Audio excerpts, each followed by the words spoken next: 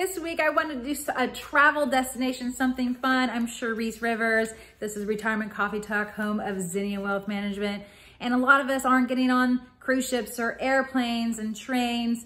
And so I want to showcase a local uh, travel des destination for the weekend that you could go travel to. And it's one of my favorites. It has this old school charm and it's called, the city is called Cedar Key.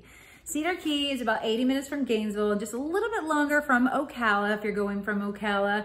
And they're famous for their 13 offshore islands where you see a ton of wildlife, birds, fish, you name it. It's quite beautiful over there.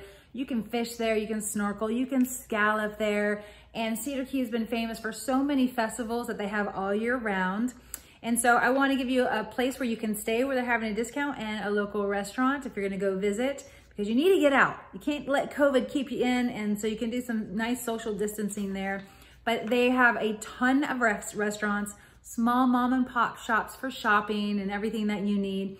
But let's start with the museum that they have there. Uh, children 12 and under, it's absolutely free and it's $3 for adults, but they have exhibits and you're walking through old villages, old town in this um, museum. So it's really neat to do that. Also, um, the restaurant to go to. I'm going to read it out. I always forget the name of it exactly, but it's 1842 Daily Grind and Mercantile. They are famous for their frozen, chocolate covered key lime pie dessert. Oh, so scrumptious, but they have a wonderful breakfast and they're, they're a sandwich shop, so I would definitely visit there as well. Now, if you're looking for a place to stay, one of my favorites, and it's been there for almost 200 years, is called Aunt Fanny's Cottages, but the deal is coming from, it is uh, Cedar Key Harbor Master Suites. You stay there for seven night, nights and the seventh night is free. So I hope you get out and you go visit and you have a nice time, but it's a really neat little place. And for one night, what a great little trip just to get out of the house and get out of the local area. So I hope that helps.